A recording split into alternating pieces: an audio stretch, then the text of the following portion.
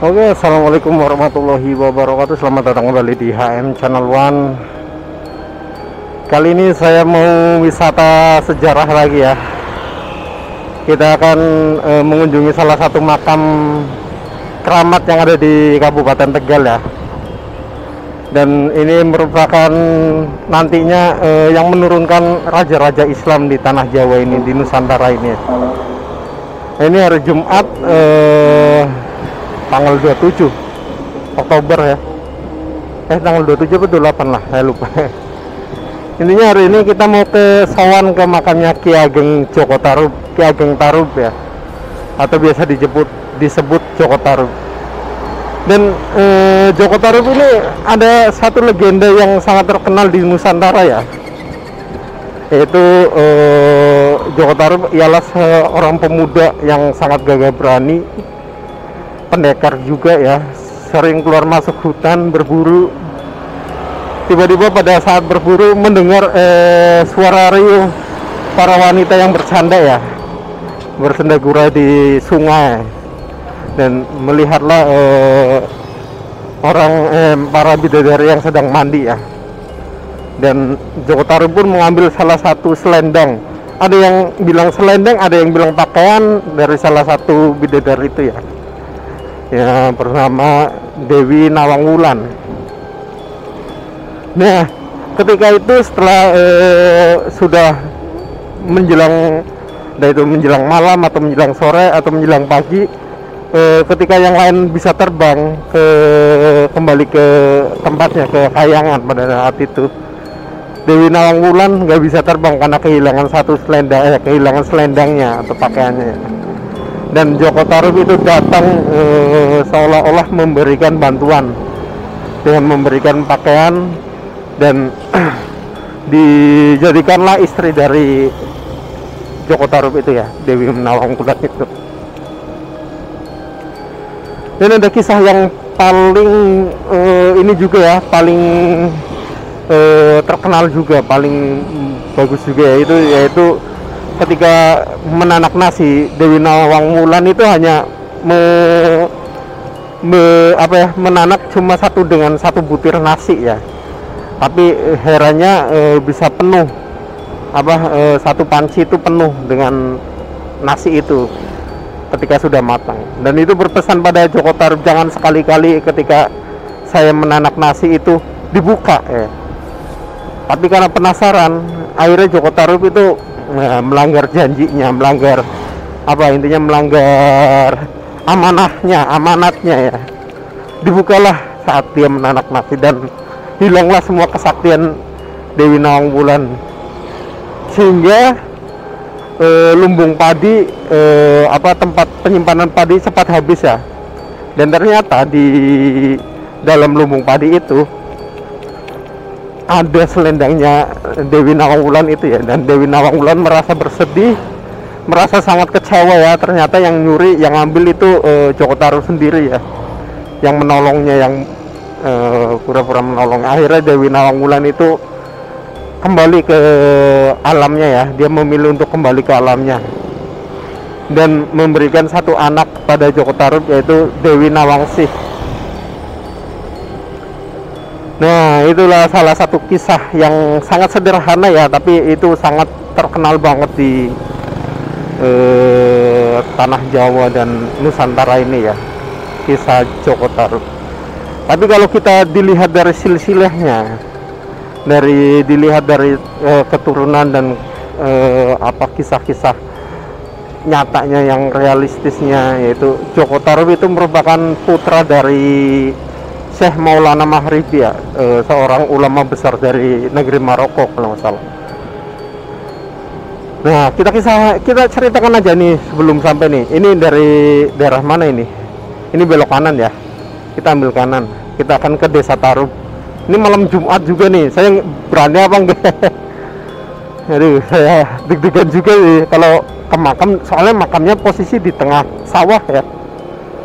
Di tengah persawahan Nah, jadi eh, dikisahkan dulu ada seorang putri raja Dewi Kasian yang sangat mencintai suaminya Arya Penanggungan ya. dan area penanggungan meninggal saking cintanya saking setianya setiap hari di Dewi Kasian itu datang ke makamnya eh, suaminya ya area penanggungan nah di situ tiba-tiba dia melihat ada eh, ditinggalkanlah sebuah bayi di makam area penanggungan dari Syekh Maulana Mahrib itu ya sebuah bayi yang bersinar dengan eh, dikisahkan tuh memakai bokor emas atau kalau sini apa ya namanya ya eh, bedong ya atau tempat bayi eh, yang emas dan bercahaya ya.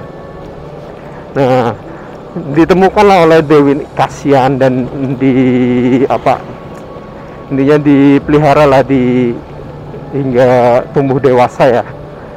Raden yang nantinya bakal jadi eh, menurunkan raja-raja Islam di tanah Jawa dan Nusantara ya.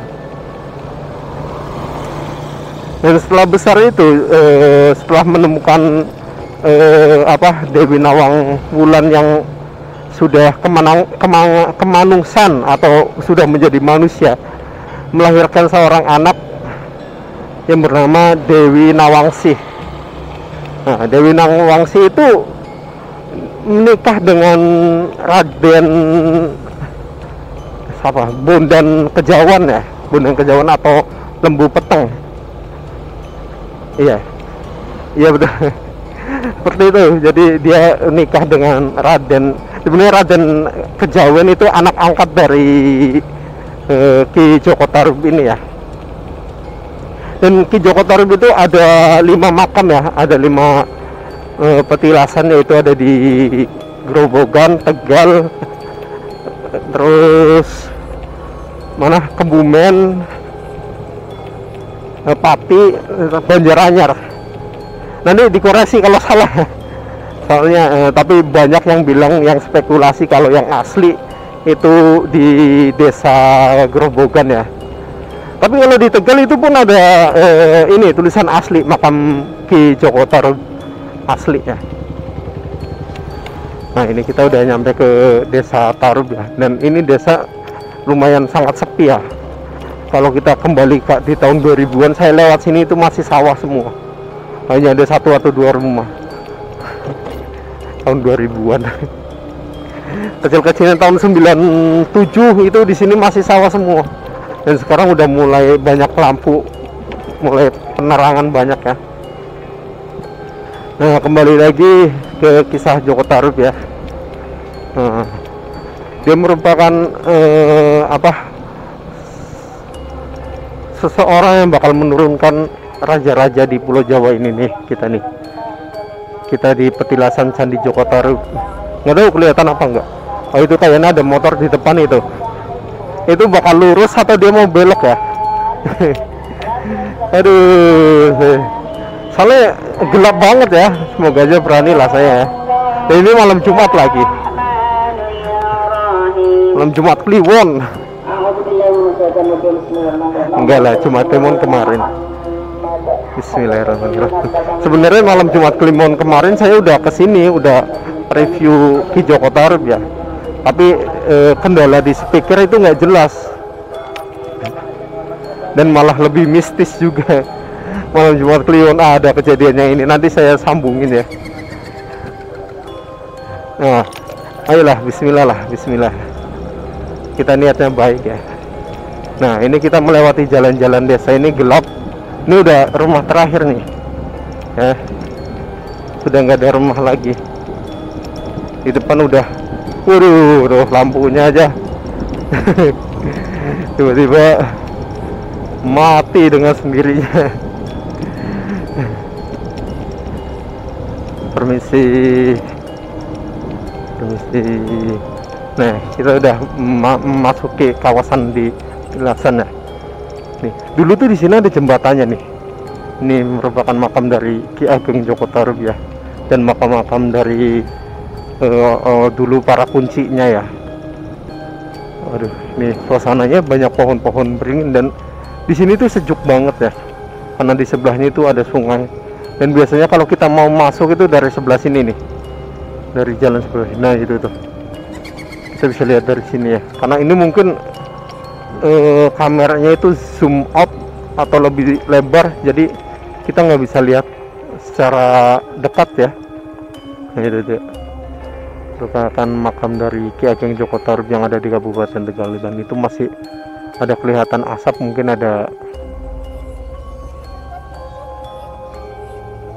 jangan berasap ya. Kelihatan nggak berasap? Di pasti mungkin ada salah satu yang eh, kan ada penjaganya kuncinya juga ya.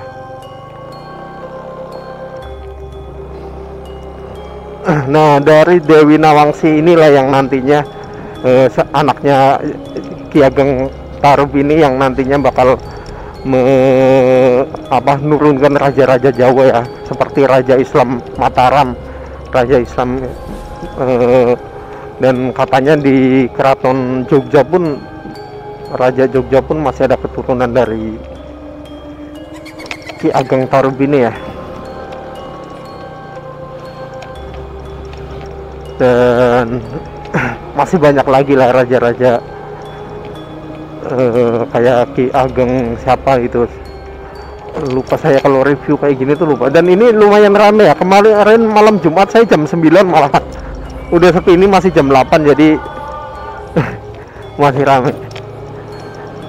Dan sebenarnya kalau disangkut pautkan dengan nama-nama desa ya ini kan desa Tarup sebelahnya ada desa Lebeteng Lebeteng itu mengaitkan dengan menantunya atau anak angkatnya Ki Ageng Tarub ya yaitu Lembu Peteng. Dan disingkat jadi Lebeteng tapi uh, spekulasi seperti itu kan kita uh, Allahu alam ya yang karena ada lima makamnya tuh ada lima. Kalau dulu-dulu itu kayak makam Sunan Sunan Sunan siapa itu? Saya lupa. Itu pun ada di beberapa tempat ya coba nanti saya carilah e, nanti saya ceritakan para wali songo juga nggak apa-apa. Soalnya dulu saya waktu kecil itu e, bapak saya kan sering ziarah ya. Sering ziarah di eh, makam-makam wali songo ya ikutlah satu minggu. Saya dibawain buku. Nah di buku itu kan banyak e, cerita kisah-kisah para wali ya. Saya baca e, setebel ini nih. Saya baca semuanya dari para wali, para uh, ya maunya yang menyebar menyiarkan agama Islam, entah tokoh-tokoh kayak uh, apa muridnya eh muridnya lagi yang biasa nyapu ki siapa lupa saya. Ini dia kuburannya ada 12 atau 9 atau berapa lucu. Pokoknya ada banyak. Karena setiap uh, sunan itu menginginkan lantai yang bersih tiba-tiba dia lagi nyapu lagi hidup lagi kayak gitu ada kisahnya juga. Sunan apa lupa. Nanti saya korek satu-satu. Itu udah lama banget. Tapi kalau saya baca sekalipun pasti udah tahu. Ini saya cari lagi bukunya. Dan yang kemarin itu kemarin pas saya nengok pas malam Jumat Kliwon itu kisahnya menyeramkan seperti ini. Saya itu kan pas di mana? Di makam Ki Ageng Tarub itu ya atau Joko Tarub itu saya nengok nih ke kiri itu ini helm itu berasa beget, begetar banget sampai kata kata kata kata gitu. Berasa mau lepas padahal kan saya pakai helm full face nih. Itu cuma nengok ke kiri nengok ke makamnya itu udah getar banget bener-bener. Dan saya merinding abis. Saya berani aja pas ada motor lewat nanti aduh nanti tak sambungin aja apa ya kisahnya nanti itu mungkin ada suara di ini makanya itu suaranya nggak jelas nggak bagus banget ya nggak tahu ini nanti suaranya audionya bagus apa enggak mau tak upload juga nanti saya eh, sambungin pas helmnya bergetar itu jadi kayak mau dilepas helm itu Oke lah sampai di sini dulu ya jangan lupa like, komen dan subscribe hanya di HM Channel One.